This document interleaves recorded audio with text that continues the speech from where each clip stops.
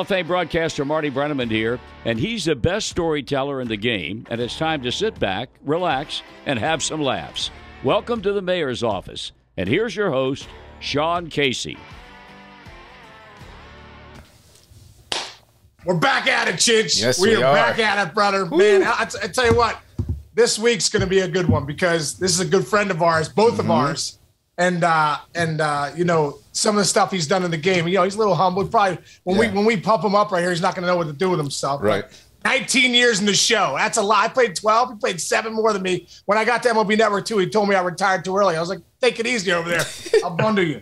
162 wins, pretty impressive. Under 380 RA, two-time All-Star, two World Series rings, and one of those was in a uh, pitched Game Seven in '97 World Series. One of the best lefties I think the game's ever seen. I've faced a lot of them, and some of the best. This guy was no doubt one of the best. 1999 playoff game, uh, play-in win, Game Two, 163.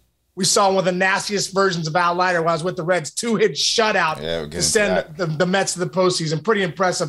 Has so many unbelievable things done through a no hitter in 96. We'll get to all this stuff, but let's bring in our good friend, our buddy, Al Leiter. What's up, Al? Good, good. I'm good. Yeah. All right, so here, Chinch, I'm going to direct this to you. I've always uh, seen, known, and talked to uh, Sean over the years, as you do. You, you, you crisscross your baseball career. Mm-hmm. And I had no idea until he came onto the network and in a playful way, only the way Sean could do it, he's like, uh, Madigan. Like, man. He goes, yeah, that's 163rd game. I had, uh, I think Aaron Boone was at third base. He goes, I had 99 RBIs, never had 100 RBIs, and he struck me out, and I broke the bat. And I'm like, Sean, I promise you in a 5 nothing game, if I ever knew this ahead of time, not that I'm trying to blow a game, but as much as I love you, I totally would have figured out a way for you to get that RBI. I had no Oh, oh my God, That'd dude! great. Such a great, such a great story. Because like I look, I look back at my career, two 99 RBI seasons. I mean, clean it up. I couldn't get the 100 RBI, but in that game, 163 versus versus the Mets, they come into Cincinnati. I'm like, all right, at least I got a shot to get it right.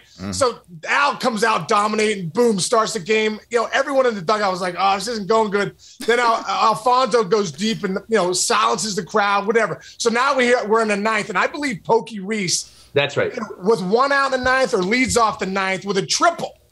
Right? Is that what happened Al? He, I think so. Uh, double, se- double. double. And then he gets the third. It's only the second hit you've given up. And I'm like, okay, you know, at the we're down. It doesn't look good because Al's dominating. But I just got to put the ball in play, get my hundredth ribby. At least I'll feel good in the offseason.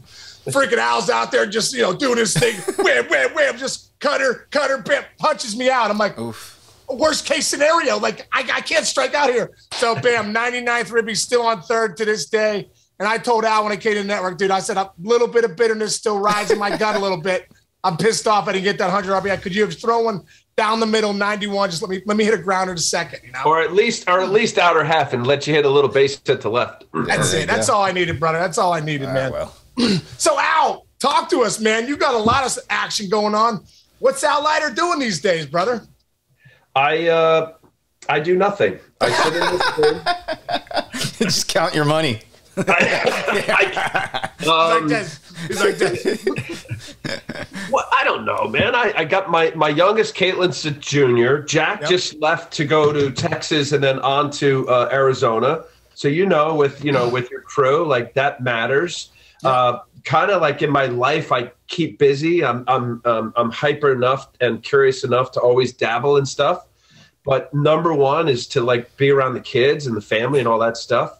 So uh, yeah, and you know, I mean, where we are in the world with the hunker down and all this crazy stuff Yeah. that's going on with COVID, um, you know, kind of the the world has gotten a little bit smaller, but uh, thankfully, knock on wood, status quo has been pretty good. So I'd say everything is good, man. Really. Well, dude, listen, uh, take us through a little bit because we know you, brother, as a friend. So we know you not just as a baseball player. We know you as a colleague at the network. We also know you as a dad, and I think that's a that's where I kind of want to start because I'm a dad too. I have four kids. You know, you have three girls and a son. I have two two daughters and two sons. Um, you know, two in college, and then I have two at home.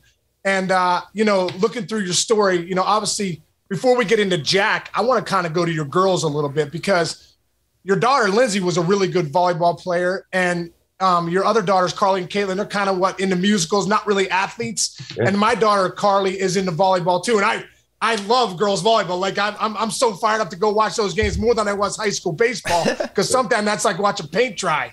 You know, you know. Can you take us through like what's it like raising three girls, dude, and and and you know being Al Leiter and that fired up that you are? What's it like raising three girls for you? So, Case, uh, uh, on top of that, to understand my history, I'm one of seven the last of seven kids. My mother and father had seven kids in nine years. Wow. Six first. I'm a twin. Wow, watch TV one time. Right? ah, uh, the, the Irish Catholic. um, so, so here I and my father was like, like crazy old school male chauvinist, like something right, you know, finished World War II. So to describe like my upbringing up, up, upbringing was crazy to it would be to put it mildly um, with six boys and one girl in, in you know in seven kids six boys at, in a nine year span so um, you know fast forward meet Lori start my family and here I have you know Lindsay, Carly, uh, yes, Jack, and then Caitlin. So the girls balance, and I know you got two and two, and Chinch, you're not there yet, right? no, as far as you know. as far as I know. Nobody's come knocking on Chinch's no. door yet. no, that's Jack! not happening. That is not happening. yeah, better not. Uh, so Jess will kick your rear end. That's right. that's uh, true. So yeah, it's been you know it's been awesome you know to to watch your kids. But I'll say this. I, I think as a parent, and I say this a lot, you know, especially being, you know, getting an opportunity to talk to other other dads and moms and and the kids. I, you know, I always think about whatever whatever their endeavor is. I, I kind of call it the holy trinity of of that interest success. Do you love it? You guys know this. Whatever the hell you do, you better love it. Yeah. The second thing is, do you work your friggin' tail off? I mean, work your ass off. I'm talking about where it's unsolicited, you are self motivated, and you go out there and you work. No matter what it is, we're going to refer to baseball right now, but whatever it is, you, uh, Case, I'm with you. Watching Lindsay play bas- uh, uh, volleyball and then yeah. her travel team, like it was awesome. Like I loved watching. It's exciting sport. So, and then I have, I have, uh, and the last thing is, is do you want to get better? You know, so if you if you create that tripod of the love, hard work, and do you want to get better? A lot of people like, you do love it? And you say, kid, yeah, I love it. Say, do you work hard? Oh yeah, yeah, Mr. Leiter, work hard. Do you want to get better? Like Sean Casey wasn't a 300 hitter if he wasn't always tinkering and trying and doing things to get better. Oh, the great players we played with, Case, you knew know it, and I and I saw some of your podcasts, and it's been awesome watching it um, and you just had Tommy on, you talk about another amazing guy, is that, you know, you're always trying to figure out a way to get a little better. You're never really satisfied. And I remember Derek Jeter saying this, and, and I got a, plan, a chance to play eventually with Derek my last year in, in, in the big leagues in 05. And, um, you know, his thing was if we don't win, it wasn't a, it, it was a failed year. And here's guy, Derek Jeter, in his first five years, he was in four World Series in the big leagues from 96 to 01 or whatever it was so that's all he knew. But the idea of and and and uh, Derek expressed this is that you know when you're playing, you never really get a chance to enjoy it. And I hate to say that because it really sucks. I remember seeing Randy Johnson a few years ago, and he came over. You know, Randy's really kind of an eclectic dude. He's an amazing photographer, and he came over to me, Case at, at Chinch, and he hugged me. I'm like, hey, Randy. And he said, Randy says, I'm sorry. I was like, sorry for what? He goes, man, when I played, you know, I was ornery. I was this, as that. Wow. But I get it. Like, it's this whole you're chasing this thing mm. and you're scared to death of failure. And, you know, I just read a quote about Keith Hernandez and he was like, you know, I was always worried about like somebody taking my job.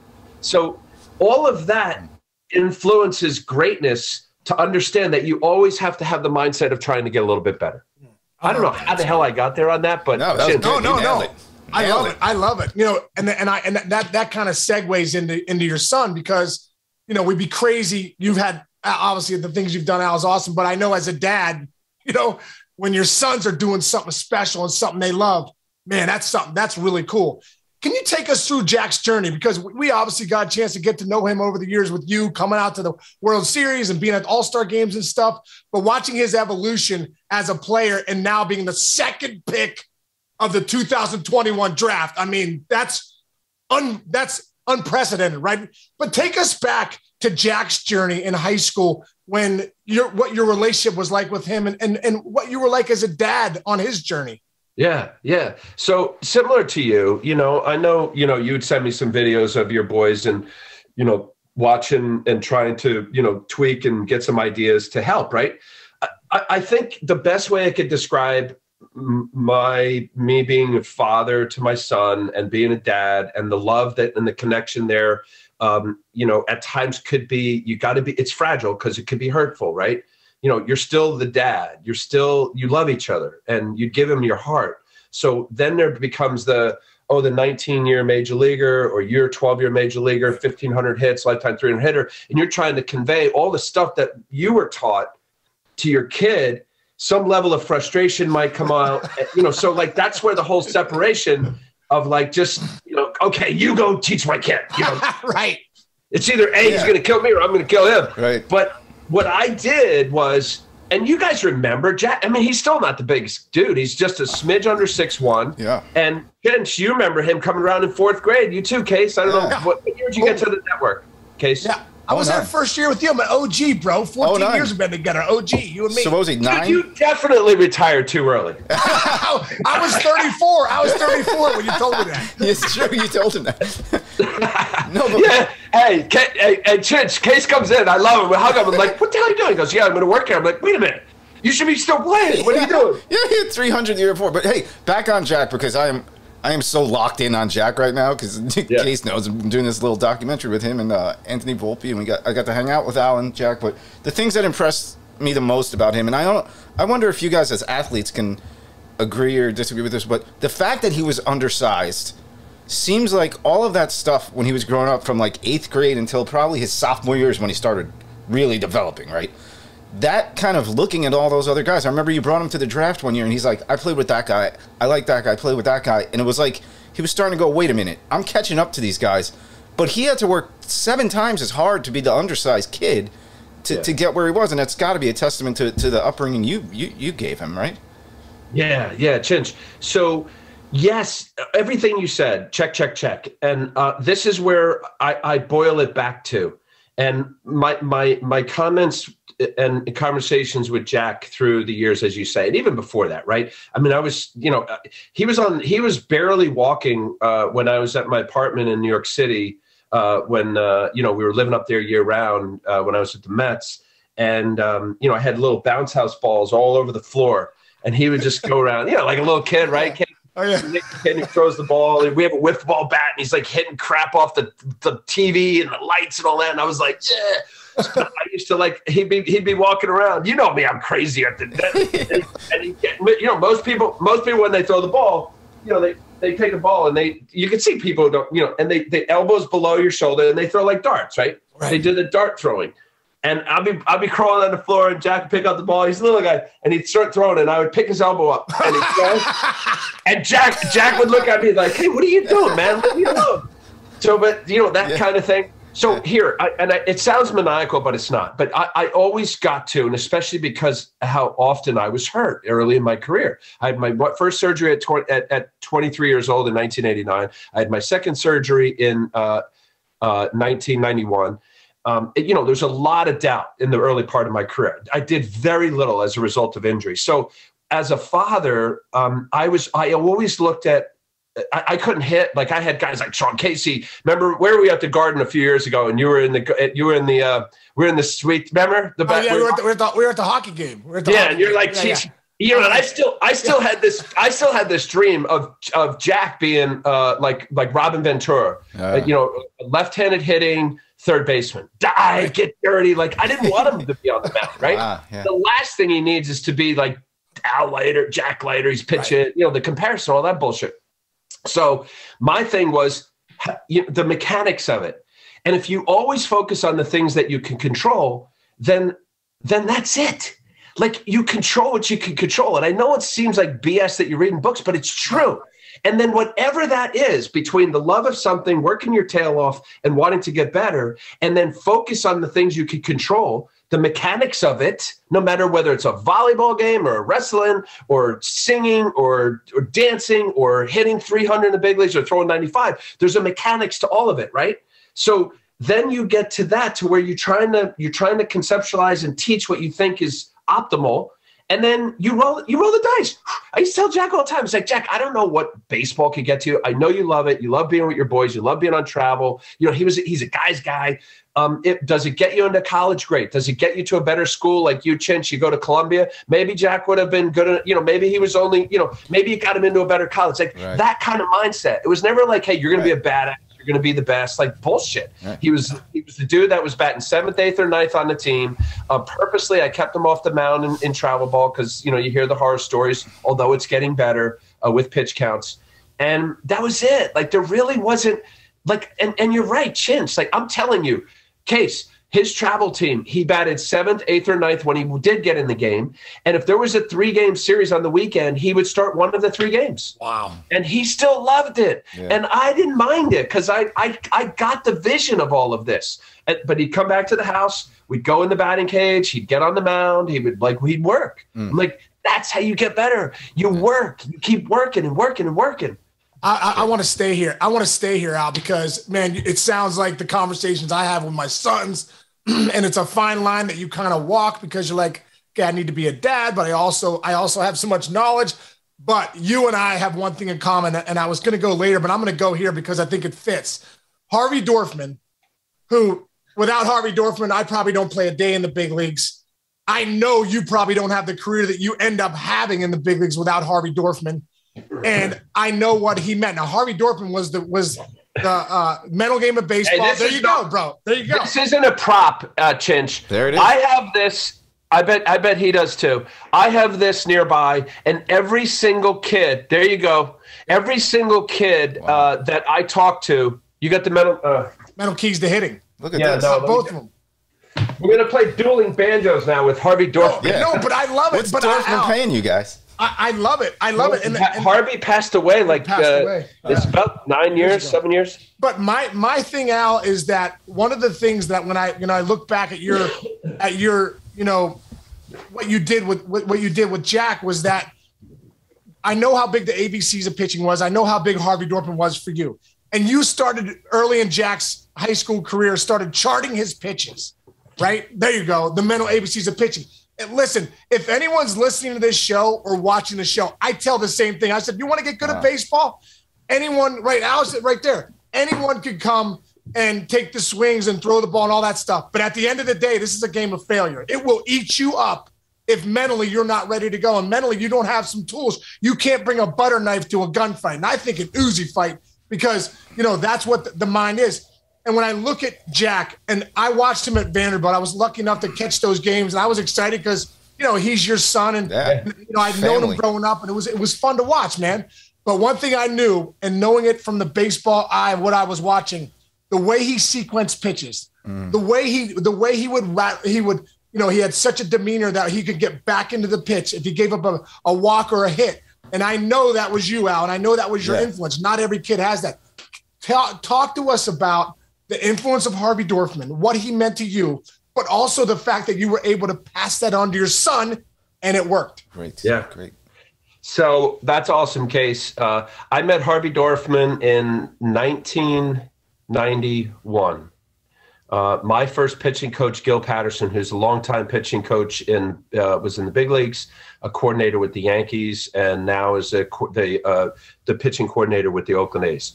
Um, Harvey, eh, how I found out about Harvey was Gil was my first pitching coach in Oneonta, New York, in the Penn League. The Yankees got rid of him. He was signed by the A's, and he was in the A's system for years.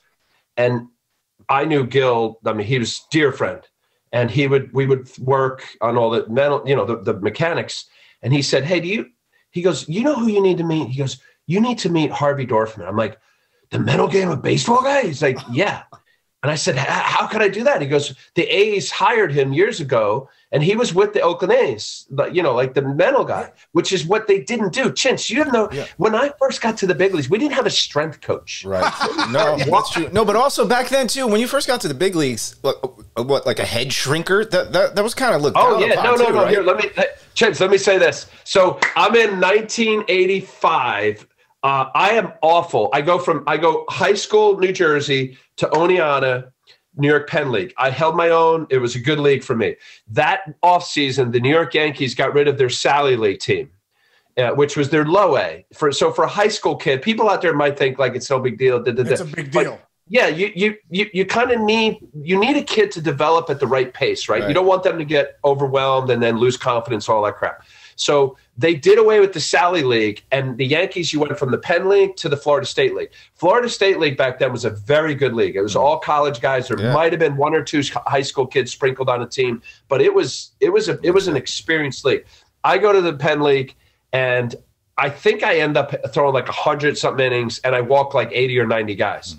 Case, I, I it was like spraying balls, thinking every dude that went to University of Miami or Arizona State. I was gonna go some guy deep. from Some guy I heard out of UCLA. I had to throw it 105, Yeah. and I'm like, it was it was freaking nuclear nuclear loose, right?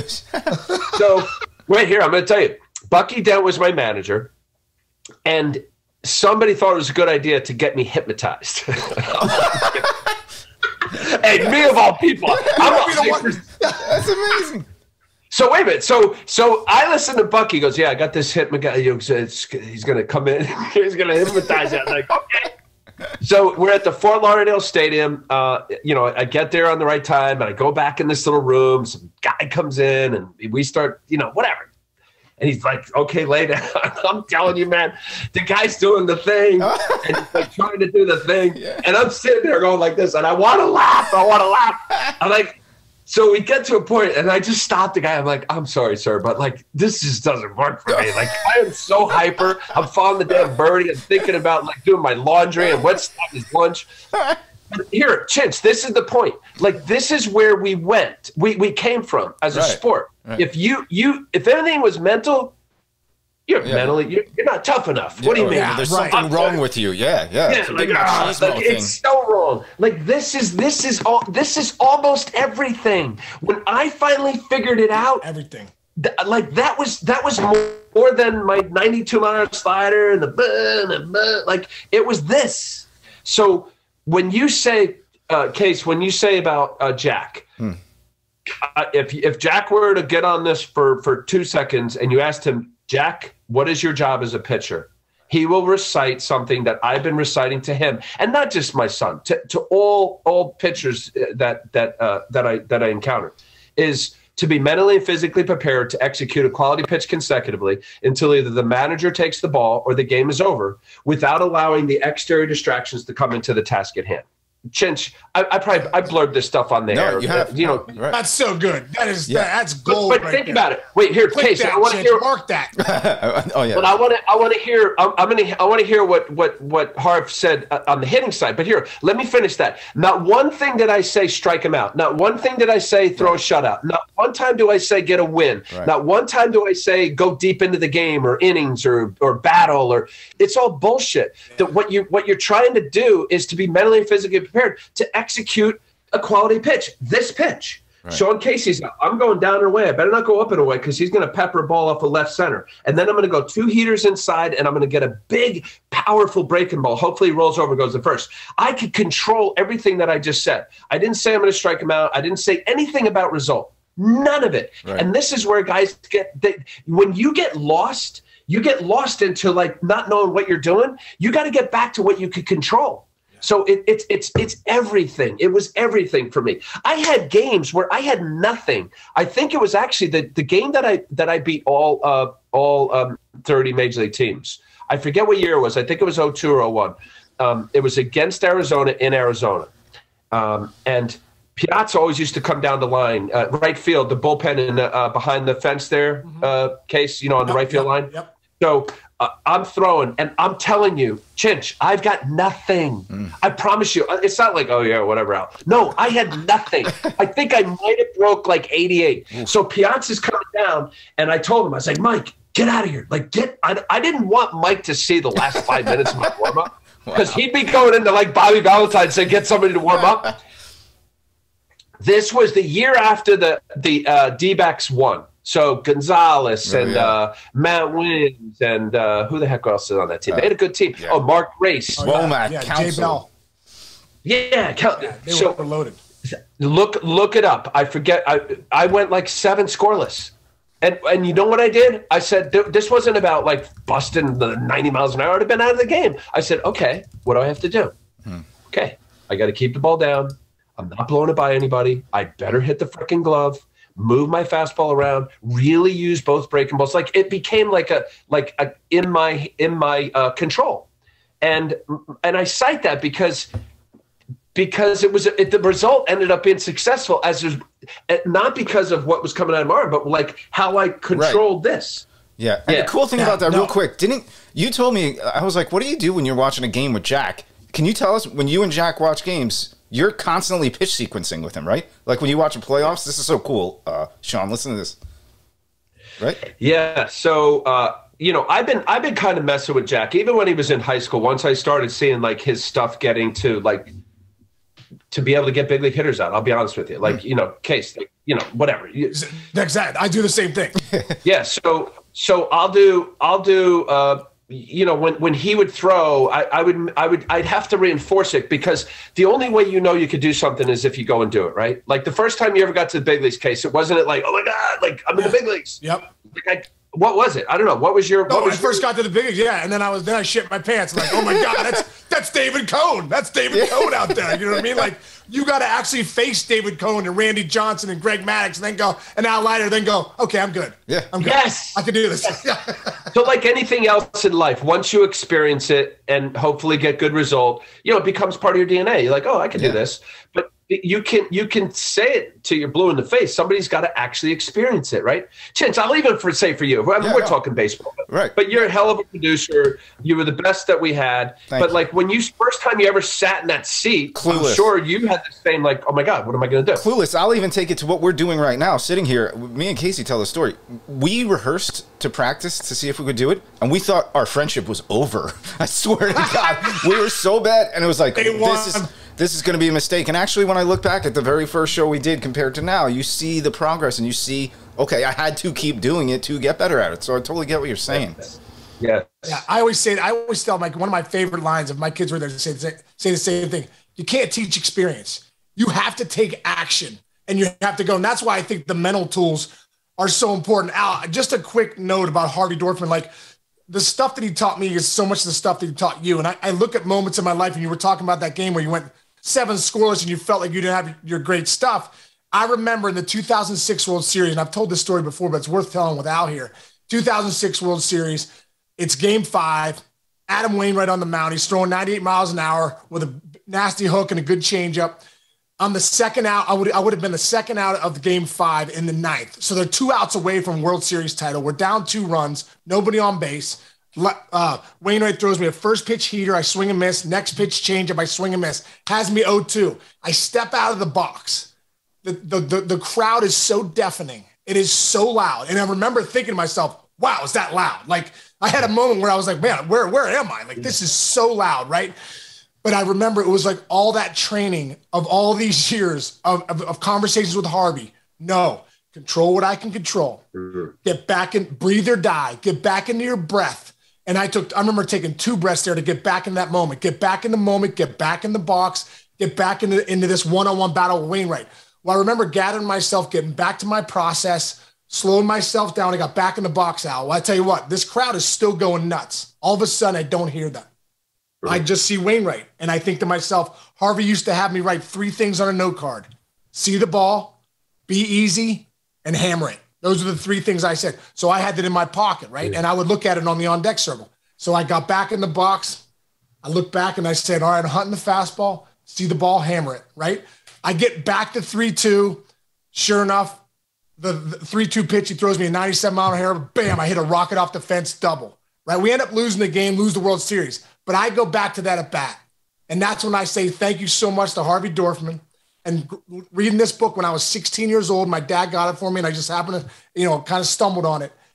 Without that knowledge, I never even would have been in the big leagues or the World Series or a 300 hitter or the chance to do the things I did. So I know how strong the mind is, and being able to live in the moment, focus on the task at hand is a skill, and it's mm-hmm. to be worked on every day. And that moment, I look back, one of the coolest moments of my career. So good. And and uh, I'll, I'll bring you on this, Chinch. What did did Kay say anything about uh, oh my God, don't mess up, don't strike out here. No, yeah, Uh, all positive. uh, what am I going to do? Uh, what's he going to do? Wh- What? No, he said, see the ball. I can do that. Pick up the ball. Uh, be smooth. What did he say? Be easy. See about be easy. Be easy. So not like, "Arrgh," you know, sawdust the, the bat, and then then then smash it. Yeah. Yeah, Right. like that. would That's all. Like that's So it's beautiful, like it's right? simplifying things, but also taking out the self doubt out of it. I guess is what you guys are saying with this. Well, stuff, that's right? true. That yeah. Yeah. The whole like I I, I uh, d- like hope is not a word. Um, even try. I mean, we can pull in uh, our, our our buddy Leland. Yeah. Try, try. I get my damn landscaper to try. I don't try. What's he do? I don't know if he pulled that on your on your podcast. Oh yeah, oh yeah. Not Yeah. there, but he pulled that to me in my career. You know, I'm trying out there. I got a truck. He said I got a truck driver out here to try. Oh, he is. He is hey, he, I guess when up in Detroit he was saying truck driver, but in Florida he was saying landscaper. so great, dude. Oh, it's so great, man. So Al, let's switch gears, bro. Let's get back to you. Let's get down the road. Um, you get drafted by the Yankees. You, like you said, you grind a little bit through the minor leagues, but you finally get called up. And I, I one of the stories I want to, I have interest in is Billy Martin was your manager, right? My first full year, Billy Martin was a manager. Your first full year. Can you talk about what he was like and and how? What was the feeling for you getting called up to the big leagues with the Yankees? With you know, was was there so much fear there?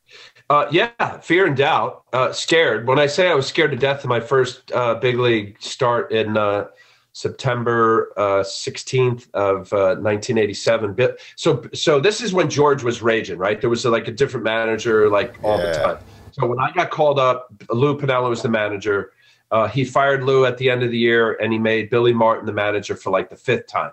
And initially, I thought it was the coolest thing, right? I'm going to Yeah. spring training, legendary Billy Martin. You hear all the stories. All I knew is that I'm staying away from this guy because I'm, you know, I don't want to be the Marshmallow Man or, or, or Ed Whitson, you know. I don't want him to punch me. So he, he liked me, you know, eh, whatever. I was the young, up and coming next guy, right? Uh, but clearly, an interesting generational separation. First of all, like Leland, uh, and I don't know who, where he got it from, but maybe he got it from Billy because Billy was in Detroit. Um, he wore cleats.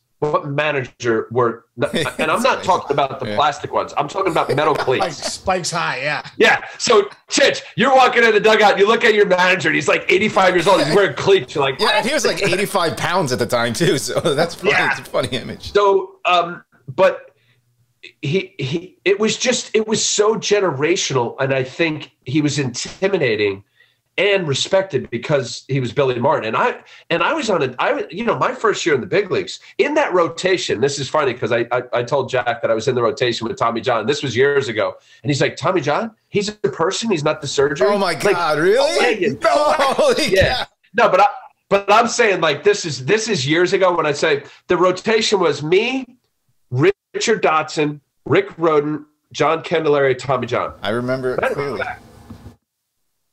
Wait a minute here. This is cool. I, I don't have a dig me room, but I do have this photo.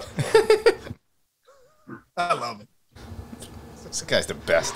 It's just for everybody at home. Al has just left the picture. He's in his office.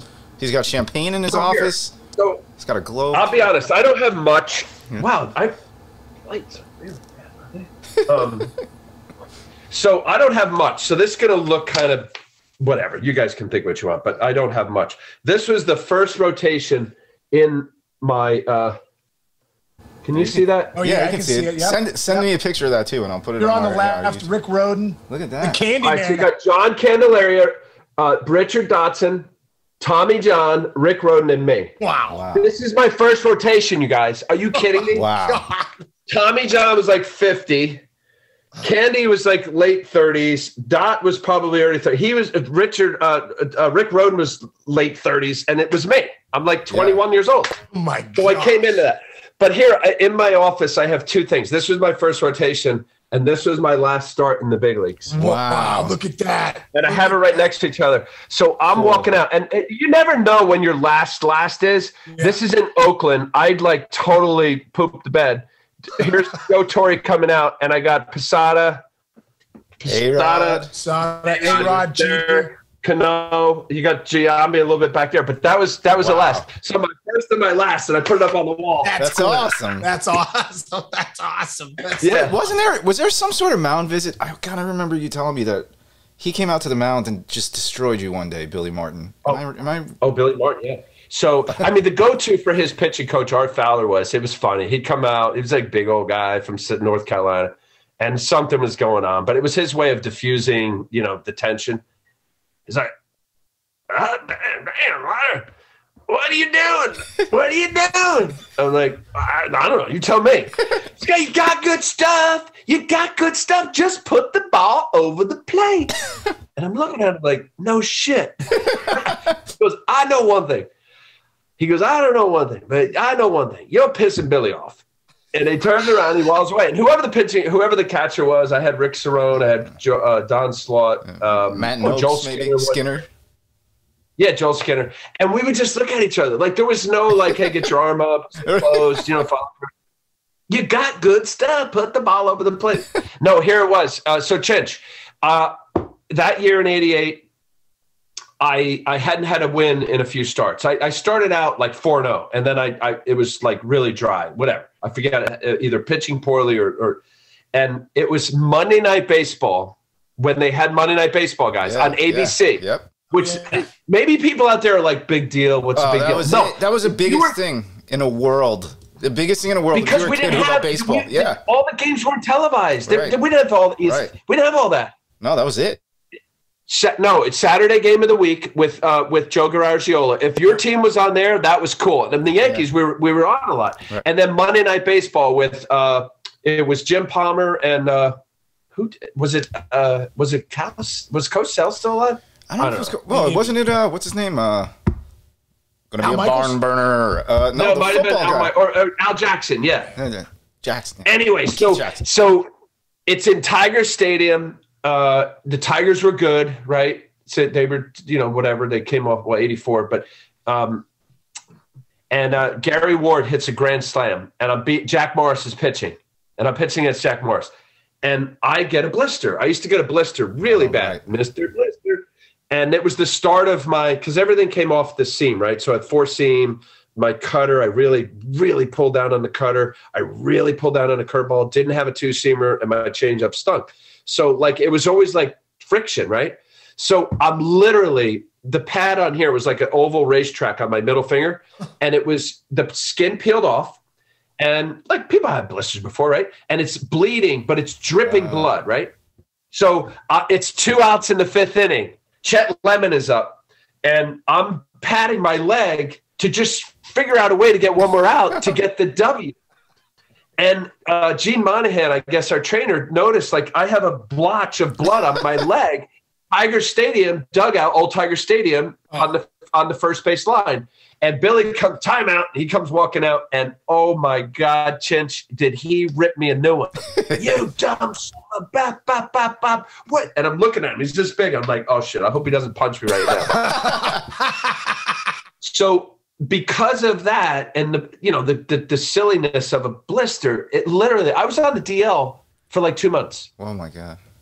because it's one of those things where Yeah, you know you oh yeah I feel good I'm coming back and then all of a sudden it heats up you know that Right, bullshit sure. yeah anyway yeah Billy did not punch me and uh, I, I- Al, really quick. I know you were up there a little bit, but Mattingly was like my idol. Did you did you get a chance to like kind of like feel the mystique of Donnie baseball? oh my god you talk I'm a legend right so you know and again this it was it was it was it was strange for me a little bit because I grew up a Mets fan growing up in New Jersey. My dad loved the lovable losers. He loved Casey Stengel, and he actually liked the Mets because they were they lost and they were the underdog. The underdog. And my dad didn't actually like the Mets. My dad was born in Manhattan, but my dad didn't like the Mets or the Yankees because they won all the time. Like how's mm-hmm. you know it's the opposite of what everybody else, right? So I then I, I sign I, I I get drafted by the Yankees. I sign, and then three years out of high school, I'm pitching at Yankee Stadium. Huh. My debut, I got Rick Cerrone, I got Don Mattingly at first, Willie Randolph at second, uh, Bobby Meacham at third, Pags and at, or uh, Bobby Meacham at short, Pags at third, Winfield at right, Henderson at left, and Yeah. Claudell Washington. Wow. Yeah, one of the best offensive here about- teams the Yankees here- had in the '80s. Yeah. Go ahead. Sorry. Yeah, no, we, I mean they were they were they were brand names, right? Hall of Fame guys.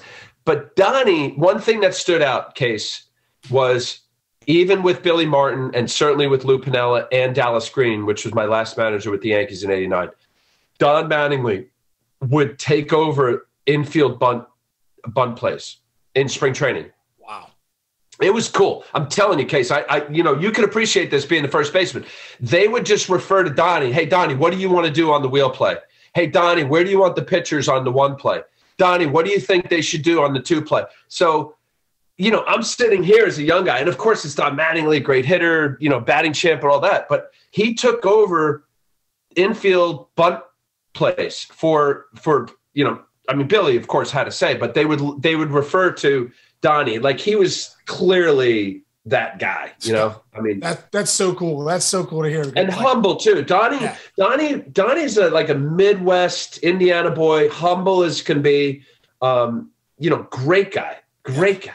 God, I, I, know, man. When first time I ever met him, I'm like, I had him sign a bat for me at spring training, and the pen didn't work. I'm like, oh my god, the pen doesn't work. It like it like it was like the you know it was like the silver pen paint pen. It like he wrote Don Mattingly and it kind of like just smudged. And I'm like, yeah. thanks a lot, man. I appreciate it. whatever is on here. At least I can say it was you that yeah. wrote it. You know, you know it was him. Know was that the yeah. uh, was wait? I think you told us that story. Was that was that the Hitman poster that was around? Oh yeah, yeah. Oh, the Hitman poster was in, and then I would come back and stay with my parents whenever we play the Pirates. I go in, bam, there's the Hitman poster still still on my wall. Right. I was like Let's go. That one, that one was right next to Farrah Fawcett, right? yes, so it's perfect. two of my interests, two of my biggest interests. um, so Al, you also talk a lot about Dave Righetti and yeah. and and what Rags, you know, you know, meant to you, you know, as a as not only as a player, but as a as a person. Could you talk about your relationship with him?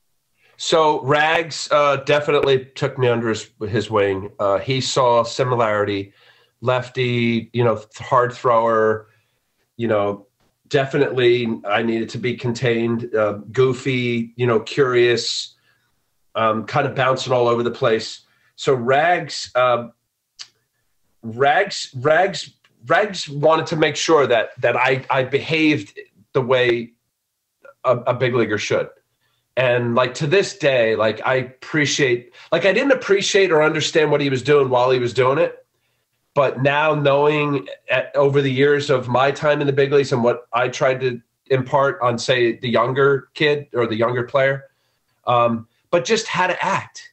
Yeah. And you know, he'd give me that look once in a while, or you know, he you know he put me in my place, and it was all very benign, like playful stuff. But like I understood what he was doing. And the biggest thing, Case, and you can appreciate this because I don't know who the, that player was on your team yeah. as far as the guy Barry, that was Barry Larkin. Barry Larkin. Barry Larkin was I I didn't want to disappoint Rags. I, like I wanted him. I guess I wanted him to like me, but I also wanted to. I wanted to behave and do what he was trying to teach, if that makes sense. Yeah. And and Righetti, the lineage here, because I got a chance to play with Ron Guidry as well. Um, the the lineage of Sparky Lyle Gator to Rags to me. I mean, that was kind of what at that time they were hoping that I was going to be kind of the next lefty thing, you know, um, injury and whatever went sideways, and then I get traded. But so I knew, I knew that because I knew when Rags talked so so nice and and, and had a, a affinity for uh, for Sparky Lyle uh, and that kind of thing, and then here comes you know other guys that that that via through Sparky to Rag uh, to Guidry to Righetti. I think you know we're we're kind of like going in a lot of. It seems like we're going in a lot of different places, but we're saying the same thing. The the the fact of experienced players, experienced yes. people. We are mentioning about you got to go out and do it, right? Right. That in the game, and I hope it doesn't get there, but the value of that. I don't even want to say journeyman because it sounds like a guy who's hanging on, but the value of that player and and Chinch, maybe you could start blurting out some players in the last five, seven, eight years yeah. that you keep that guy around because oh, it's right. more than what. He, who? Albert Pujols right now, where wherever he was, wherever he's oh, going. Oh yeah, next Pujols, year, you know, like next next level stuff. But right. uh, boy, I'm, I'm blanking right now, but I, I can't say enough. Giambi's last if, three years in the big leagues, he barely uh, he barely picked up a Jay, bat, but Jay, they needed Jay, him on those Chase teams. Utley. Chase, Chase Utley. Utley in L.A. Yeah, I mean, yeah. yeah, you're right. So so we you know to, like that it's more than just the pinch hit or an occasional no. start. It's it's it's having that voice and that experience around the kid yeah. who needs to feel that legacy of taking the baton and passing it to the next right. guy. And Junior got it from his guy in in in in in uh, Don Mattingly. Like it was so. Yeah, I'll yeah. take it a step, step further because I, I, can relate this to, to just, you know, people who don't play the sports, but it's the same concept. I always say, like, when I started getting into, like, managerial roles and there are people underneath you, I've learned, like, you know, there's whole Machiavellian thing, right? Where it's like, uh, better be feared than loved, whatever. I, I always say one of the biggest things is you don't want like your employees or you know the young player with the old player. The, the the biggest sign of a good leader is you want people that aren't going to be scared that you're going to get mad at them. You want them to be upset if they disappointed you. And what you said that about about Righetti, like a leader, a good leader is one that really, literally, like you just want to do your best for them because you know that that leader has your back and you know that they're teaching you all the things you need to be a better person or a better player and all that yeah. stuff. So I love I love that point you made. Yeah, yeah. It, I mean, it, it's it's kind of that quandary of a, of a parent, and I see a lot of parents that want to be friends and pals with their kids, as opposed to you're still the father. Like you have to be a father once in a while and you know fathers have to say things and put your kid back in their place and uh, you know there's some tough love at times and right. you know that's okay and that's like, why it's good to have that 38 year old player who's at the tail of his right. end of his career with the 22 year olds and there's 20 of them there right Yep, yep. Well, I know I know one father figure if he was still alive would be pissed off right now that he traded Al Leiter to the Blue Jays, and that's George Steinbrenner. Because I don't think that I'm just saying. I know Jesse Barfield was a great player, but at that time they traded a young Al Leiter who ended up having an unbelievable career for Jesse Barfield, who was on the way out. So George right now is listening to this right now and going, "Man, we never should have traded Al Leiter. What are we nuts?" Um, so, bro, so that you get traded from the Yankees to the Blue Jays. And I think this is when, you know, the evolution of Al Leiter, you finally come off those injuries, the blisters, all the things that happened, a couple surgeries. Now you're with now you're with the Blue Jays.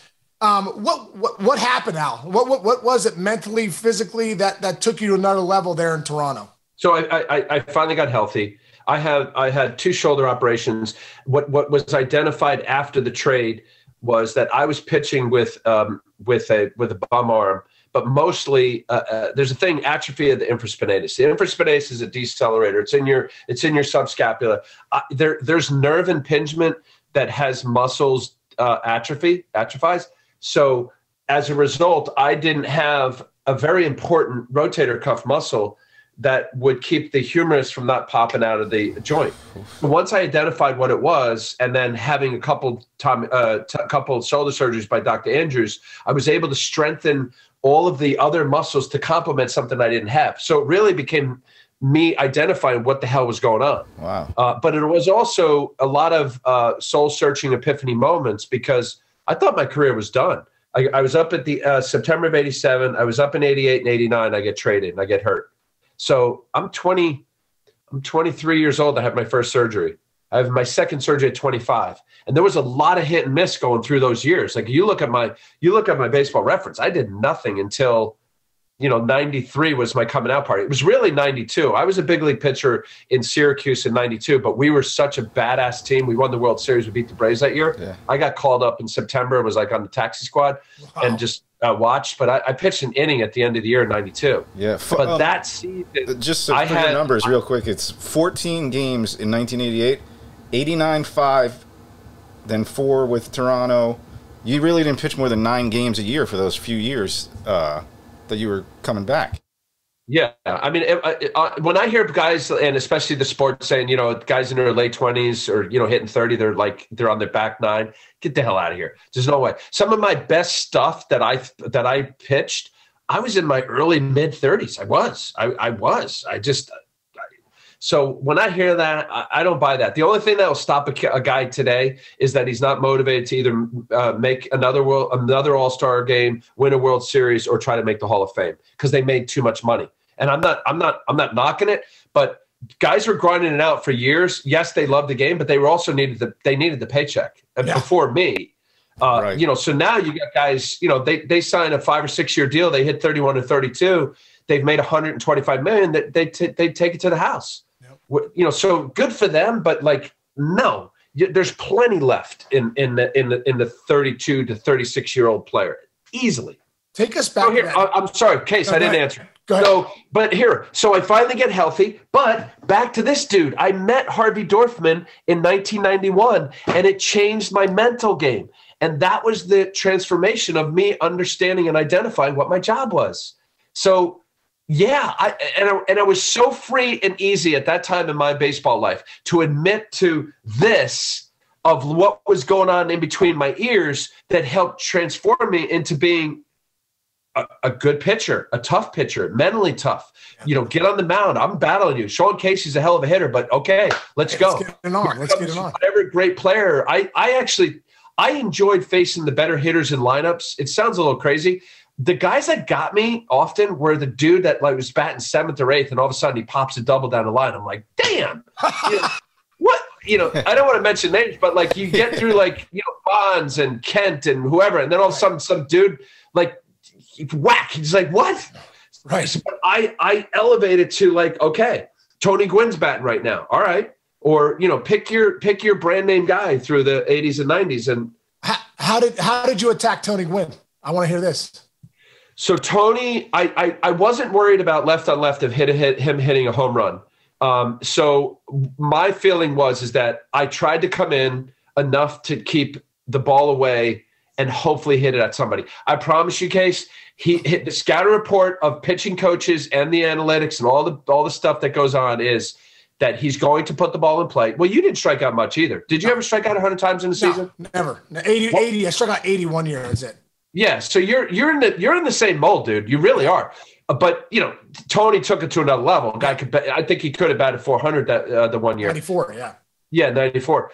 Uh, he just he's going to put it in play. and Hopefully, hits it somebody. That was it. And if he hit it, if there was nobody on base, it was get the two guys out in front of him. He's going to hit it to the five and a half hole. Hopefully, we're in the right position. We throw him out. Yeah. Honestly, God. like, and I was okay with that. If if Tony Gwynn was two for three, you know, a couple singles, and you know, you beat the Padres five two, like, all right, you know, that was a great game. He was 10, how 10 for how 22, 10 for 22 for a 455 batting average. But to your point, three doubles, one homer, and two ribbies in your entire career against him. So that's homer. exactly what you're saying. Yeah. It He, like- you What year did now. he have the homer? when? I don't remember Oh, that. I don't know. I'm not a real researcher. This is Well, just a okay, but half-assed I, exercise thing we got. I, I, want I, I want to st- Al. I want to stay in your mind here as a pitcher really quick. Bonds. How'd you face Bonds? Oh, BB.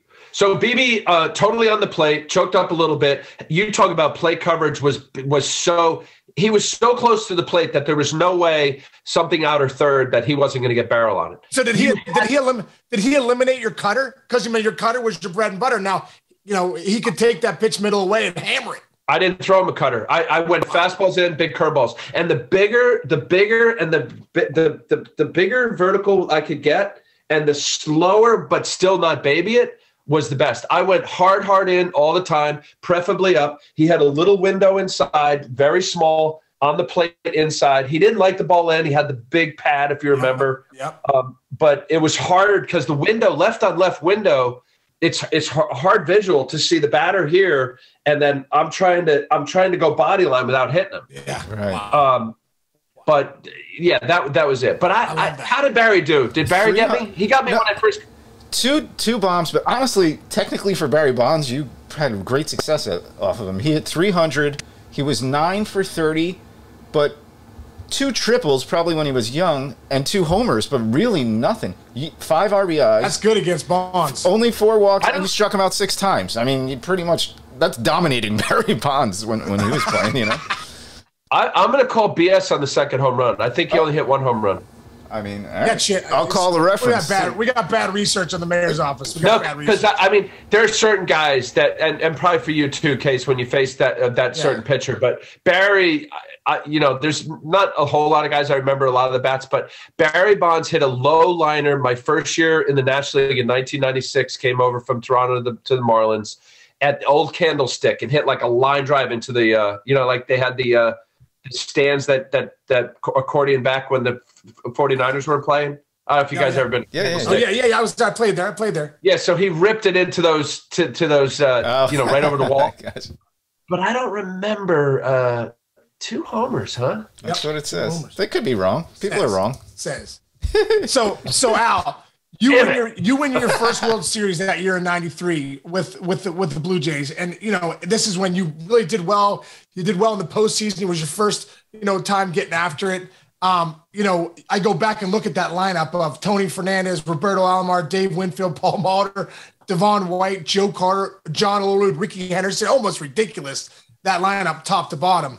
Um, Kelly Gruber. Kelly Gruber, you know, what was that like for you being such a big part of that team that wins it all? Toronto. So um, it was fulfilling to say the least because, uh, you know, after getting called up at the end of September, uh, I was not part of the postseason roster in 92, but still the experience of being in, you know, in an organization that was going in the right direction. So 93, I started and relieved. Um, and uh, it was uh, Stottlemyre uh, ended up being uh, the top four starters uh, for the postseason. Todd, Todd Stottlemyre. Uh, we had uh, a young Pat Hentgen who came on. Right. Um, we had Jack Morris, Dave Stewart. We we had we had Juan, Juan Guzman. yeah. Guzman was another guy that came on. I think Jimmy Key had left to go to the Yankees, and might have still had Dave Stieb, uh, who was hurt. Yeah, it was amazing. So Cone, right? Wasn't Uh, Cone a hired gun? David Cone? Yeah, Cody came over in '92. Yeah, and then he came back in '95, Right, and then we traded him to uh, the Yankees that year. Yeah. They went on to. Uh, well, yeah, that was the year that they they almost uh, right. They lost to Seattle. Right, right, exactly. So so you, you so so from Toronto from Toronto though um you end up you end up going to the Marlins and in 1996 correct 1996 You know, and you throw the first ever no hitter for the Marlins. And it, look- you know looking back at your numbers too um you know pretty impressive what you did in 1996 six, 293 ERA over 200 punch outs it's your first All-Star game.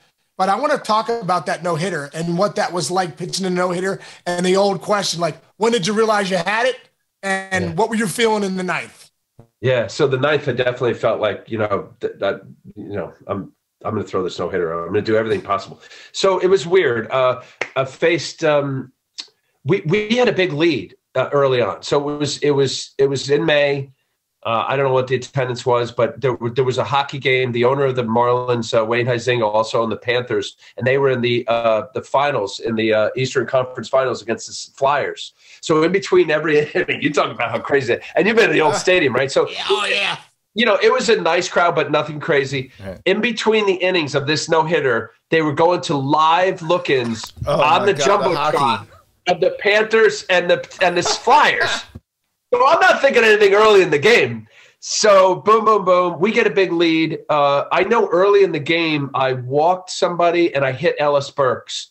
And Larry Rothschild, who was a pitching coach, he took me underneath, and I love Larry. Love Larry. Andres Galarraga. You, you walk Galarraga to start the inning. Okay, Galarraga. Yeah, so I'm kind of doing my my usual like that that that that that you know walk, you know, and so Larry kind of jumps me, and I'm like, take it easy, man. Like I got you know like whatever. I don't know what I said, but something goofy, and that was like from the third inning on, and then it just started flowing, and and this is gonna sound like like BS, but there wasn't anything that you know. There's always a no hitter where you go, oh my god, you know what a play or oh my god the some something about it. It was about the most boring benign no-hitter. I hate to say it. Um, you know just like just little pop-ups and broken bat this and that. So about halfway through the game i think about the sixth inning the marlins people putting on this live look-in of the freaking panthers playing the flyers. They're like wait a minute we got a no-hitter here. We got to get people to like focusing back on our our game. And uh yeah, so the last, I always say this, and, and, and you know, certainly being on air, it was like, oh, you know, alert, alert, alert, Right. you know, Rich Ciancimino in San Diego's got a no hitter in the fourth inning. I'm like, uh, what? Fifth inning? It's not happening. No, seventh inning. And I tell you why it's the seventh. If you get through the seventh for a lot of reasons, now you need only six outs. But if you have a perfect game in the seventh inning, you're pitching to one, two, three, right? You got the, the, the top three guys in a perfect game. If you walk a guy, you're pitching two, three, four. If you walk two guys, you're pitching three, four, five. So that was me. In the seventh inning, I pitched three, four, five. Uh, you know, they had a Colorado was good. What that was ninety six. They came off a Yeah. playoff team. Oh, you're talking about Dante Yeah, yeah. Bichette, Ellis Bichette, Burks, Vinny Castilla. Vinny Castilla, big time lineup, big time lineup. yeah. Was Larry, Larry Walker too, right? Yeah, I think. Larry Walker. I don't think he was No, in that with night. the Expos still. He was still with the Expos, I think. no, ninety five. Was he? Okay. I'll pull it up. By the way, eighth inning, three pitches. Eighth inning, three pitches. Al, is that true? How about that? Is that That's crazy. Would you do that Good, in a, good in a job five on nothing offense game? there. or eleven nothing? Chinch. They started swinging at the first pitch. That's crazy. Oh my God, eleven nothing the eighth. so Eric Young, Eric Young is the last batter, and I'm like, and Charlie Johnson's in there. You know, I threw a lot of cutters, a bit, bit less back then, but and I was like, no way. I'm going fastball away every time. If this dude goes right field, grounder, whatever, but and it was just, and I don't know how many it was. He kept fouling him off, fouling him off, fouling him off, and then he swung through it. And uh, yeah, Awesome. I, I, I think, you know, it's weird because, like, again, the whole no hit thing, I, I never really thought, I mean, you dream about it, but I never thought, like, oh, yeah, I got no hit stuff today. Like, never. Like, I, no hit stuff today means what? You leave a ball up and the guy pops it out. It's like, you know, it's, but once I did it, I'll be lying to you guys if I said, like, I didn't think, man, that would be cool if I do it again. And the main thing was, is that I was so lame at the last out he Charlie comes out to me, he hugs me, I hung him. Oh it was yeah, like, yeah. You just shook everybody's hand. like if you didn't know any better, you would have figured it was like Yeah, a dude who just threw like a game. shutout, gave up like one or two runs. Funny. I didn't know what to do. I said, man, if I ever throw another no hitter, man, I wish I would. I'd go nuts. I'm going nuts. Yeah, Well, at least your, your kid, good. your kid did it for you, so that's pretty cool. yeah. Yeah, awesome. that's true. So so 97, brother. I think you know you talk about that 93 team in Toronto, man, where you loaded. 97 in Florida. Let's go down just for a second. Charles Johnson, Jeff Conine, Craig uh, Counsell, Renteria, uh, uh, Gary Sheffield, Moisés Alou, Devon White, Bobby Bonilla. Then you had Kevin Brown, you, Alex Hernandez, Livan Hernandez, and Rob Nen closing, who was filthy, Ridiculous. right? Who was filthy, dude. Take us back to that team and you know what that was like, and also when it was all said and done against the Indians, Jim Leyland, my favorite manager of all time, one of the best managers in the history of the game, hands Al Leiter the ball to take for game seven. Just take us through, especially that run. What was it like getting the ball for game seven and that team, you know, walking it off in Florida and, and, and, the, and the pandemonium that ensued? Amazing. And I, I'm going to throw in, I can't believe it's- I say the late Darren Daulton, uh, but we traded for, Right. we traded for Dutch at the trade deadline, and he was the kind of the final elixir to team chemistry. Not that we had a bad problem, but like he was a dude. Like I don't know if you ever encountered with with Darren Daulton. Yeah, I did. Yeah, I did. It's, it's awesome guy. Yeah, and like the presence was like, uh, we needed this. Uh, so yeah, it, I, I'll be like, it, it was a weird quandary. We're we're up three to two. Our ace is on the mound. I'm charting because I'm going to pitch if there is a game seven. Kevin Brown, who was amazing, uh, like just amazing. Like every game seemed like he was either a shutout or almost a shutout. And their fourth starter, I guess, I don't know, Chad Ogea, nice pitcher, really Yep, good yep, sinker yep. And he shoves. Like I, you know, I think Brownie gave up a couple. You know, we didn't score, but I'm sitting there. I'm like, I, I was fighting myself because I'm charting, and I'm like, you know, I'm looking and like thinking like there's a game tomorrow. But then part of me I was like, I hope there isn't a game. But then there was a piece of me saying, man, wouldn't that be pretty cool? Pitch a game seven, like just doesn't happen that much. Oh, it's conflicting. But then I'm like, no, no, no. no, I want to. I don't want to pitch a game seven because I want to go jump on a dog pile and not not worry about that. You know, the, the headache and pressure of it. So when we lost, I completely got into like, okay, you know, game mode. I gotta, you know, I gotta do my thing. And one of the things I did was I looked at my game four and typical, like my my crappy games were spraying the ball, walking some dudes. You know, here comes like a ball up in the zone. A guy hits a double. He score three. You know, two guys on base. You walk like that. You know, that's your tempo. You, even now, we watch a game. Like if a guy has a bad game, there's always like two soft spots in the lineup where you just like you just kind of lose it. That was me. Uh, but I, I looked at two guys in the. Uh, I guess it was their LCS, or maybe it was their division series. Andy Pettitte and David Wells. Mm. Andy Pettitte got hit around by the Indians, and the Indians they had a hell of a lineup that year. Loaded. Yeah, loaded. Sandy, I got, Sandy I got was called MVP. Up to, I got called up. I got called up to that team in '97. I got I got sent out to the Arizona Fall League, but I was on that team in September, and they were loaded. Yeah, yeah. That was that was a, that was a hell of a lineup. I mean, there was no soft spot. Yeah. I mean, I don't know. I guess Vizquel batting eighth, I guess, or ninth was, or whatever. But he was still really good. Almost had yeah. three thousand hits. Yeah. You know? Actually, he led off. What am I talking about here? So, uh, I looked at both of them and I said, in order for me to not crap the bed, I gotta I gotta do something different. And I was, you know, power fastball, power slider, power cutter, occasional backdoor curveball, very occasional a changeup. And I was like, I need to I need to do something different. So I told Larry Rothschild, I said, first pitch of the game is to be a curveball. I need to establish I'm throwing freaking curveballs and I'm throwing a bunch of them because these guys are to, they're to be on my, they're to be on me. So Larry's like, well, we'll look at the lineup. We'll look. I was like, no, I don't give a shit who's up. Nice. I'm throwing first pitch of the game curveball because I need my own brain to say, get that out. You're going to need it.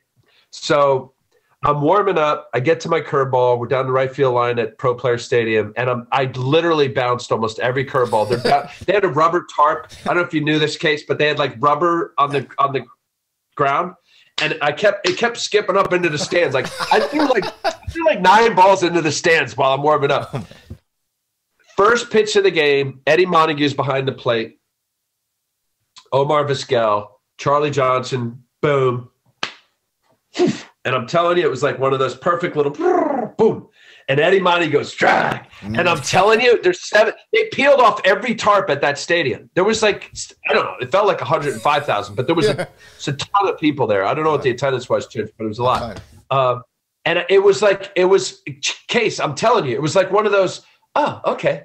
And I and I brought it out, and I remember throwing a bunch to Dave Justice and a bunch to Matt Williams and and and Manny Ramirez. Like Wait, real quick. 67,204 people in that game. It was bananas, man. I mean, if they could have put football. any more in there, yeah, because, well, they have to peel the, the stands back in left field. So they would have put, yeah, it was crazy.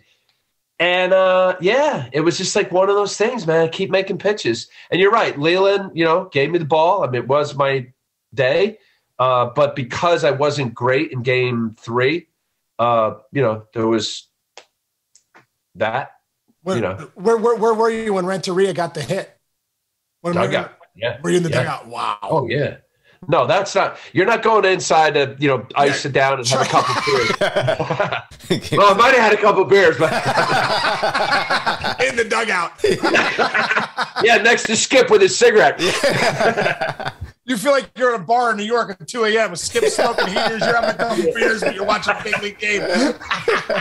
Oh my God, dude! That what what a moment that must have been for you. But as you fast forward, they blow up that team. Wayne Huizenga says we're gonna have a fire sale. We're getting rid of everybody. Everyone from that team goes. Dave Dombrowski's wheeling, dealing people. You end up with the Mets. Yeah. You end up back home. You end up with the team that you and your dad and your family rooted for growing up, and, and now you're back home. What did what was what did that mean to you to go back to New York, especially Amazing. for the Mets? Amazing to the team you rooted for and I uh, still had plenty left in the tank. I uh, what year? Uh, how old was I? Thirty? Was I thirty yet? How old was I? Eighty-seven. Yeah, it, was, it was ninety-eight. Ninety-eight. So I'm like thirty-three. Yep. Yep. Uh, Thirty-two. I thought it was pretty cool. So Dave Dombrowski calls me, and, and we, we knew they were unloading everybody, right? So he calls me, goes, "Look, I'm not promising you anything." He said, "But I have two comparable deals. Thirty-two. Do you have a preference?" What? How old was I? Thirty-two. Yeah. Thirty-two. Thirty-two. So yeah, there it is. Thirty-two. Uh, a year before I pitched against you, Case, and it should have given you 99, 100 RBIs. I uh, so he says I, I'm not promising you, but I have comparable deals: St. Louis Cardinals or the New York Mets. This was Dave Dombrowski, wow. and I was like, you know, Case, that's pretty cool. When a, you know the GM's calling you, he doesn't do that. Like you know, I'm, that's awesome of him to do that. So I said, Dave, I said, man, I mean, I grew up a Mets fan. Like I, that would be amazing. You know, and it's in, it's in division, like, you know, whatever. Although the Marlins, you know, really went the other way for a few years uh, because of that. And sure enough, man, next day, uh, AJ Burnett was a A ball pitcher with the Mets. that went over oh, in that I didn't trade. know that. That was the AJ Burnett went over in that trade. Wow. Wow. Yeah, yeah, AJ Burnett. Uh, there was a I don't know about four or five guys. Um, yeah, so that was that was, you know, I guess you're a Pittsburgh. Were you a Pirate fan? Yeah, it's a huge Pirate fan. Huge Pirate Yeah, fan. so it'd be yeah. It, you know. when I played for Pittsburgh in 06 for a little bit, but it meant a lot to play there. It's like your dream, you know, your, your dream team as a kid. So you know, Totally. for you with the Mets, but you you went there, brother. And not only did you go there, Dominated. you end up dominating 17 and 6 with a 247 and now the Mets are second in the NL East 88 and 74 um you know and then you end up you know oh and Mike Piazza ends up coming this is where I want to I want to talk about him a little bit because you know I not playing for the Mets I've heard different things about Piazza as a teammate you know maybe he was a little moody played with guys that come in they're like uh, don't talk to him today. He's a little moody. I'm like, all right, that's so tired. But you know, I mean, I I've heard different things about Piazza, but I know, you know, my relationship with you. I know you and Mike are friends, and you always had great things to say about Mike Mike Piazza. Can you talk about him a little bit and and and just the figure he was in New York? You know, almost feel it seemed like a cartoon figure. And but more but more importantly, what was he like as a teammate? Yeah. So look, I, I I I appreciate it more after you play to realize the guys that took it so seriously, maybe to a detriment, and I don't know, maybe Mike would agree, would admit to it or not. But after the fact, when you get a guy that's so lasered locked in, and being a catcher is more responsibility than in in this essence of winning that game and the responsibility than even a starting pitcher because you're dealing with an entire staff. You're dealing with you, uh, you know, controlling behind the plate, and then he happened to be our best player. So now you become your best offensive player. It's a really odd, you know, how many teams have you ever played on where your catcher was your superstar best player? Right. I mean, I mean, maybe Good point. Pudge. I played with Pudge a little bit, but he was Okay, Pudge. but one of the best players. Yeah. uh maybe Posey. I don't know. I, you know, Not but not not to Mike's stats. So like he took he took that responsibility to a, a whole other level. So I think when teammates or people or peripheral people, you know, didn't identify like this, the how much he really took, you know, uh, really took on a bad game, a good game, uh, you know, a loss, a win. Um, I lockered next to him for seven years. Like we were right here, right next to each other, and um, you know, he he was he was a good teammate. He was he gave a sh- he cared. Like you talk about high level give a shit. Yeah. So uh, we would drive back to the city too, like uh, you know, because I would either uh, we'd carpool because he lived near me on the Upper East Side, and on um, you know, so I got to know him in in a, in a good way, and uh, you know, there was nobody. I would say this, and I played on good teams. We, we went through it, right? Toronto and and and and the Marlins with the World Series teams. No, none of my teammates uh, represented the uh, as as important of a player as Mike Piazza Wow. in all my years. And I say that not not because of the other Hall of Fame guys that I played with, but it was about Mike. And yeah, we had nice players around. Todd Zeile was a nice player. Robin Ventura was a nice player. John Olerud was a nice player. But Mike was like he was rock star status. Yeah. So- time. You know, so you talk about the ultimate target on his back, and now it's like every night, every day, and the microphone in front of his face, and like you know, he dealt like so. You know, Case, you would have liked him. You would have liked him. He, he knew when to let his hair down. He knew when uh, on the right off day to be able to go and uh, you know we'd go to karaoke, and he liked like hairband stuff and like Def Leppard and like some crazy Nice. Metallica, just stuff you liked actually. yeah, yeah, he was so into the heavy metal stuff. So you know, and I appreciated that. You know, and he, and he gave a shit. Yeah, yeah. I, I I loved playing against him. I love how hard he played. He played. I remember talking to my first base a couple of times. I'm like, man, I Case, I you're a big dude. You're a big dude and you got big hands, big forearms. I'm telling you, and I'm not lying.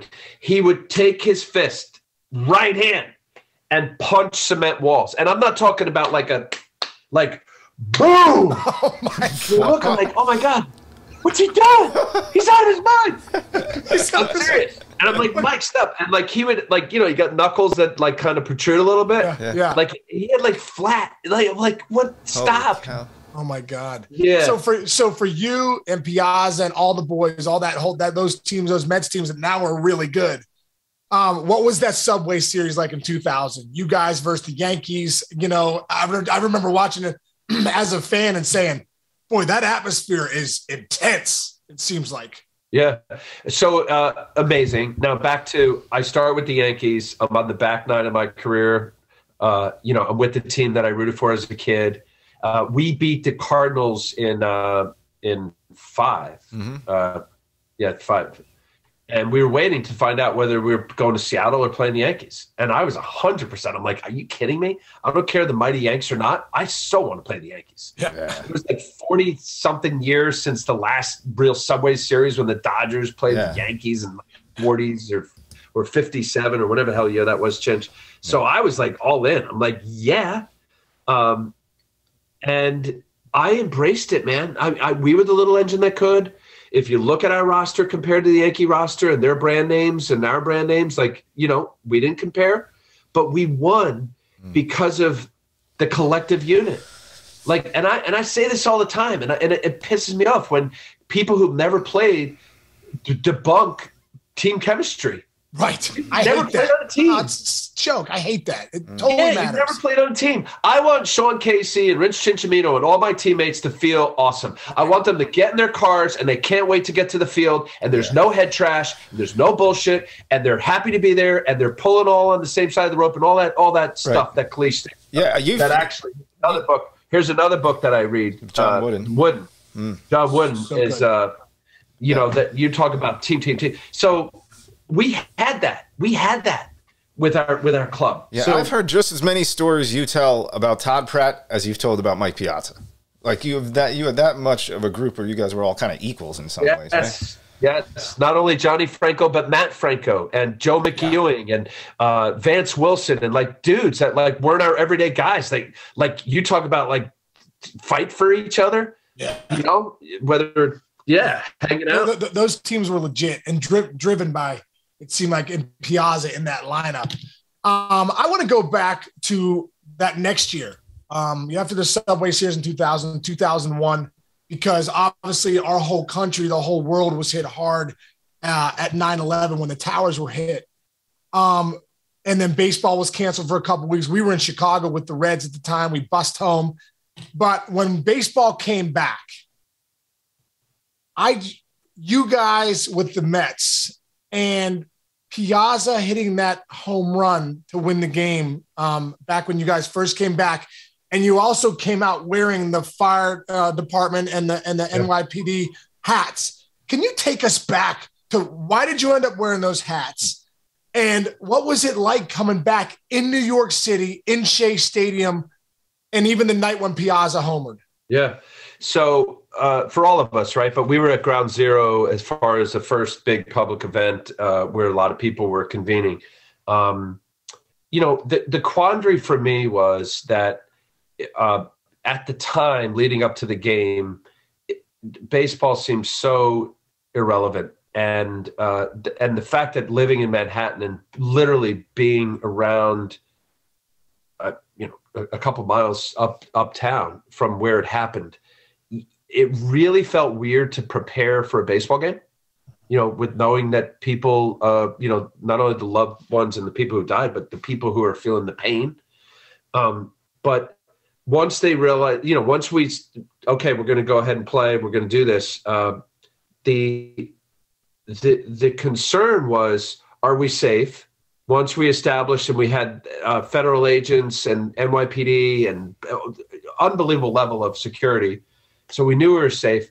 And then once the game and the pageantry played out, and then you mentioned a case with Mike, our hero, our star, hits a big home run that wins the game against our ultimate nemesis, uh, the Braves, like total thorn in our side, and badass uh, organization, unbelievable team. You know, it it made me realize as I drove home late that night uh, that we were 100% doing the right thing because there were so many people that were feeling uh, the pain and, and trying to heal. and it sounds cliche, but we were totally a distraction for many people right. to get away from it. Well, plus you couldn't change the channel. There was no, there was nothing other than that on television. That game you guys played was maybe the very first thing where it's like, it, it just wasn't. It was about a something else happening on television. Yeah. I, I thought. Yeah. Yeah, no, you're right. It was it, not not only New York, but it was it was national, right? I mean, we were we were uh, it was it was a big it was a big event. But I I I think I think how we all felt, right? I mean, we all have our story about where we were and you know you know our emotions and all that. And the gamut for me was scared, nervous, sad, mad, pissed off to all of it of of what transpired. But I knew after we played that it was it you know clearly the right thing for us to move forward and, and uh, try to help heal. And we, you know, it was it was it was daily. Every time we got to the field, tried to get there early enough, get my work in, and then go over to the staging area. And, and we were packing a lot of boxes and supplies and all that because it was behind home plate at the old Shea Stadium. There was a big area where just just endless trucks, supplies uh, going down to ground zero, and um, you know, how could you not think about that, right? You immediately go to the people that were lost. You're thinking about widows and loved ones and little kids and all that. And like, you know, then we go back to behind the Diamond Club and go into the clubhouse and we're going to play a game that night. It was just like, ah, yeah. you know, it was rough. It was, you know. Yeah, I, I, feel, I feel like, like you said, though, I really feel like it mattered. It mattered that baseball yeah. was back, some sense of normalcy for our country. Um, but I just know as a fan, you know, watching when it, when it came back, when when President Bush throws out the first pitch in Yankee Stadium, when Piazza hits that home run in Shea. Yep. For all of us, because New York was the you know was where it was all happening. For all of us, you know that was I think what those were those are very healing moments for our country when you guys came back and did that. So I just you know kudos to, absolutely to time. Um, so Al, so you know you fast forward out, you know you, you end up having what an unbelievable journey you've had in the big leagues. You ended up with the Yankees can you just take us through that last time on the mound where you walked off and you knew, you know what, this is it, I'm done. Well, I I uh, I wanted to finish with the Mets. I um you know, but that didn't work out. Whatever, uh, you know, because there were certain there were certain numbers that I thought would be cool to be mentioned with some of the idols that I grew up. You know, in particular, uh, Tom Seaver, Jerry Koosman, Dwight Gooden. Um, but didn't work out. Signed with the Marlins. I was awful. I'm 39 years old, turning 40. Um, and Cashman, the Yankees, their their pitching was you know really going sideways with injuries, and at the trade deadline they traded for me, and you know I remember talking to Cash, and I said, Cash, look, I, you know I, I, have something left. Their pitching coach, you talk about full circle. Uh, I mentioned about Gil Patterson earlier, who was with the A's, who is now the AAA pitching coach, who's back with the Yankees. Wow, no. Way. And I said to I said to Cash, I said, Cash, let me go to let me go to Columbus. I've worked with Gil over the years. I love him, and you know, let him straighten me out. And yeah, I, I got something left. Yeah, yeah, yeah. Good idea. Good idea. So they're making all these plans for flights and all this other stuff. I get a call back from my agent, Alan Hendricks. He's like, "Well, hang tight. I, don't, I don't know what's happening. Uh, just hang tight. I don't know. You might not be going to Columbus. Uh, you might be going into business." I'm like, "All right, yeah, great." Uh, they opened up in Boston uh, after the break, and then I get a call a little bit further later. It's Friday now, and he said, "They said get up to New York or get up. You got to get up Saturday to uh, Boston because you're starting Sunday night. Oh, Sunday, night baseball. Sunday night baseball. Red Sox Yankees. I'll never forget this game. Red Sox Yankees. I'm telling you. So I uh, I'm like, all right, you know.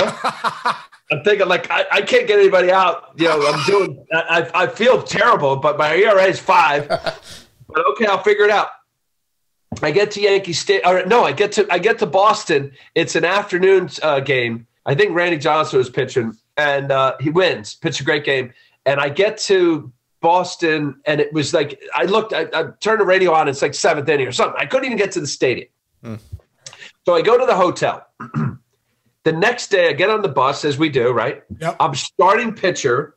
I was with the Mets for seven years, kind of the across town rival thing that all those guys. I know all the guys on the team, right? But I'm on the, and I basically introduced myself to my new teammates in that visiting the clubhouse at Fenway. You know how small it is. Oh yeah. And I remember being in the training room, and Joe Torre comes in, and uh, he says hello. And I say, you know, and I'm, I'm you know, I'm getting ready. And he said, "So, so tell me how much you've been throwing." I said, "I haven't been throwing much, Joe." Said, well, tell me what you've been throwing. I'm not kidding. I said, "Well, I've been playing catch with my son Jack. He's five years old." Jack was five. All Star break. You know, I whatever. I like, and um, he turns around. he's like, "Oh God." So Posada comes in. I tell I tell Jorge, it's like Jorge, I you know, I like my cutter, you know, I got to use my curveball, whatever. We have like a quick scout report meeting, and um, I go out and I you know I pitched I pitched well enough. We win the game. It's you know, it was like it was really a cool you moment. Pitch well enough, Al. You pitched your that was one of the best regular season games of that year. Don't undersell what you did that. It night. was it was a good game. It yeah. was a good game. Yeah, I was it was it was cool. I I uh, it, I was digging on it. It was like next level like excitement. Uh, you know, I'm back. Whatever. Yeah, it was it was it was very. It made my. You're right, Chinch. It made my season. It did. I was. Uh, yeah, it was great. It, yeah, it was cool. Al, when you look back at your career now, you know, where you're at in your life now, what do you appreciate the most?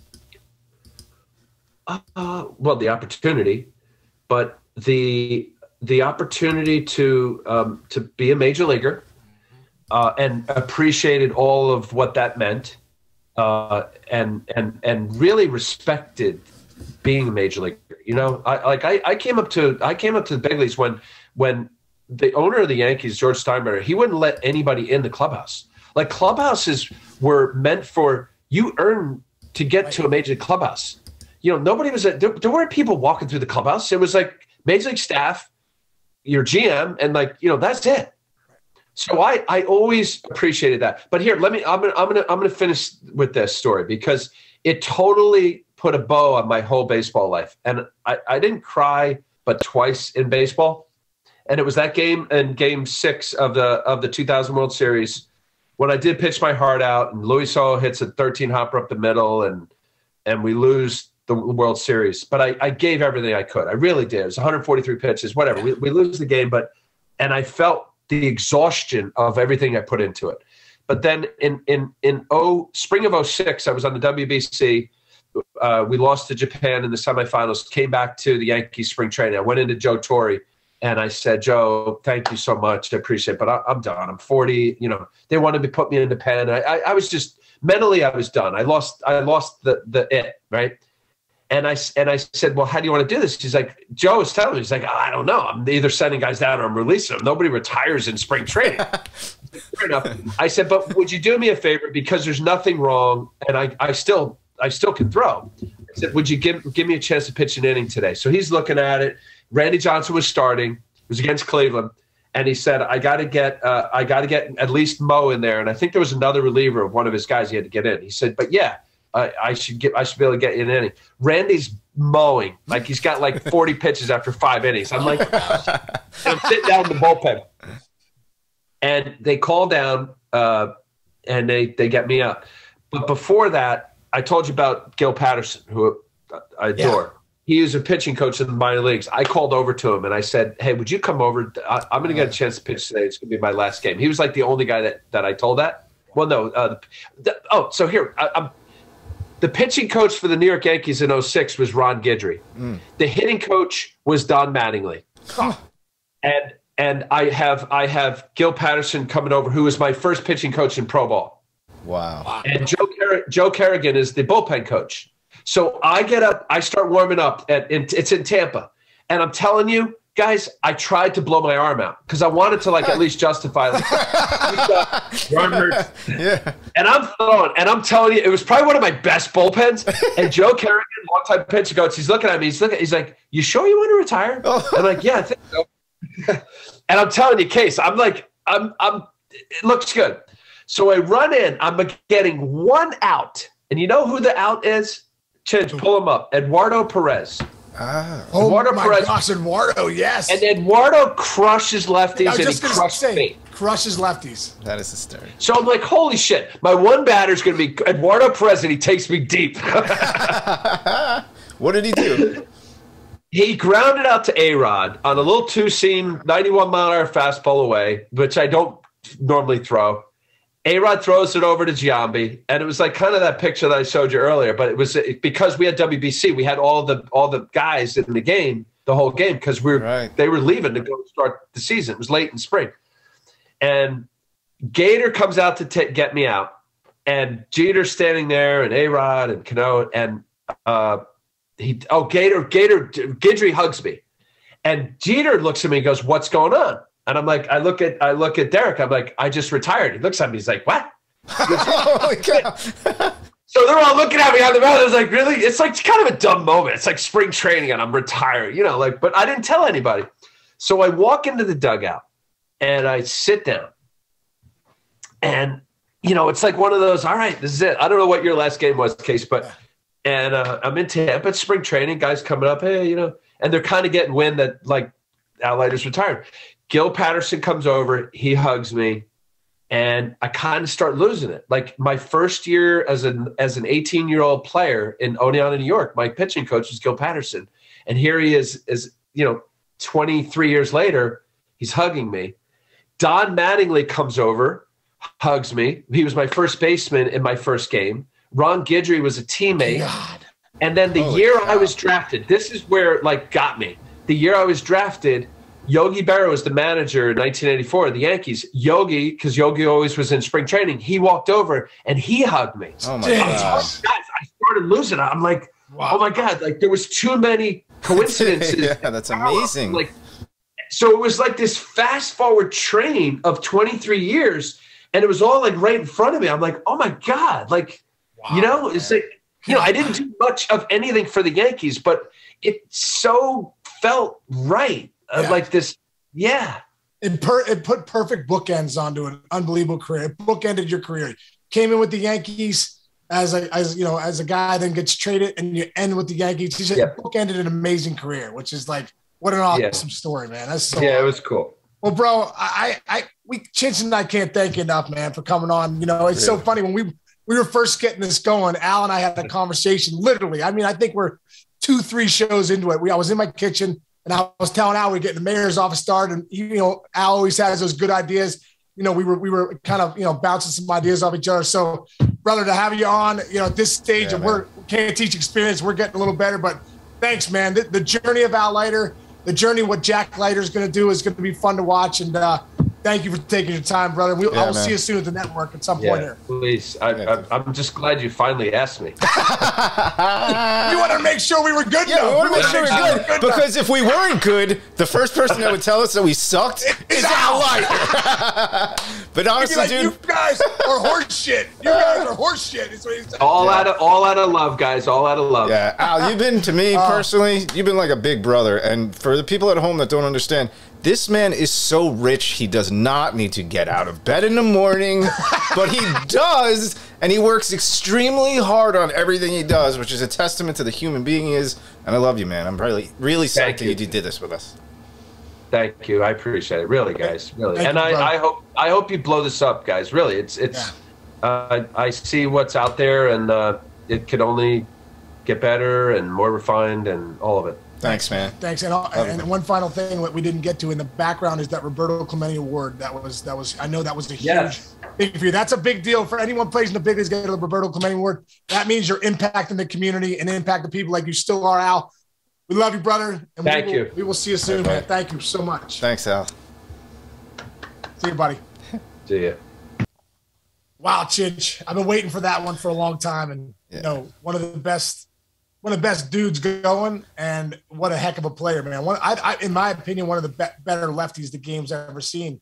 Yeah, and it, it just took him a little bit to get going. You know, all the injuries at the beginning really didn't get hit his stride till '93 with the Blue Jays. Right. So I mean, do the math. You know, what I mean, those first few years. You know, yeah, totally. And to be have a chance to put up the numbers, right? And to be a native New Jersey guy, so a tri-state area guy, like I got, I have that poster up. You know, that was what 22 years ago that was yeah. and like the, what that team did and i grew up a yankee fan but i was always an Al Leiter fan just because he was from around yeah. here and and just because of the, the work ethic you can tell the type of person he was you know like i say i joke about how rich he is but you talk about down to earth human being and somebody who actually works hard on everything he does i mean that as a purpose and he brought a lot back to his home town that was gone. They had not made the playoffs in 11 years by the time he got to the Mets. Then he, he pretty much had a lot to do with taking them to the World Series.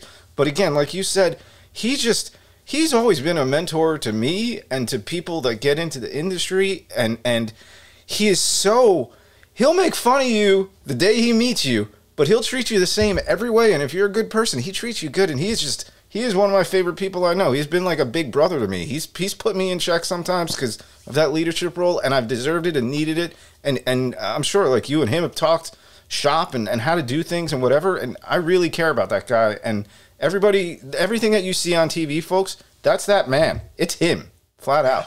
Yeah, and he keeps it honest. You know, he's he keeps it real. Right. If he doesn't like something, he's gonna t- he'll tell you about it. Yeah. But, you know, also too, they can talk about his work ethic at the at the network. The demos that he does are yeah. so in depth. They go into the mind of the pitcher and, and you know sequencing and all that stuff. And he's won an mm-hmm. Emmy doing it. So everything Al's done, he's succeeded, and it's just pretty cool to see. Yeah. It's going to be really fun to see Jack Leiter. Really cool to see Jack Leiter. He looks yeah. like a nice, handsome young Al Leiter out there on a mound. It'd be fun to see his career develop.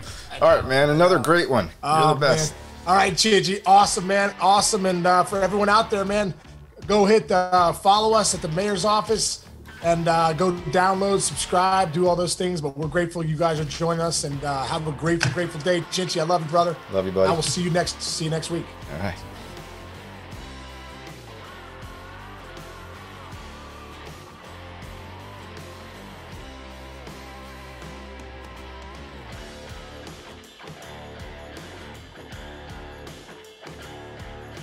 Chinch. Support this week for the mayor's office is brought to you by Manscaped, who is the best in men's below the waist grooming champions of the world.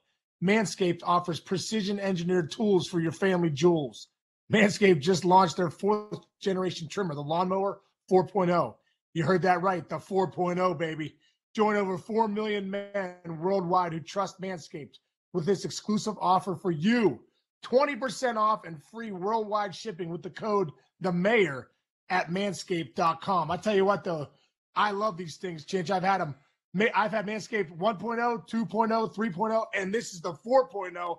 This one has a new sleek design. It's perfect for guys like me, though, dude. I'm one of the hairiest guys going. That's a fact. And, for, and as the fact, and forever, man, forever, I've been looking for the best trimmers. Even going way back years when I was playing, I'd always nick myself up, cut myself as the worst.